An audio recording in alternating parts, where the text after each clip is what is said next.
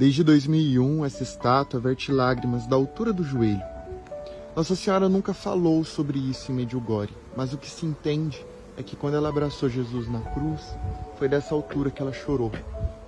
Dois laboratórios analisaram essas gotinhas que saem e viram que ela tem justamente a composição de lágrimas humanas. A paróquia de Medjugorje nunca se manifestou sobre o assunto.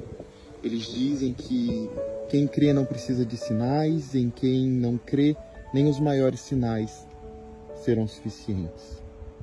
É curioso porque justamente no Brasil, Nossa Senhora apareceu com o título de Nossa Senhora das Lágrimas, e é uma aparição reconhecida pela igreja. Eu deixo aqui embaixo mais explicações dessa aparição.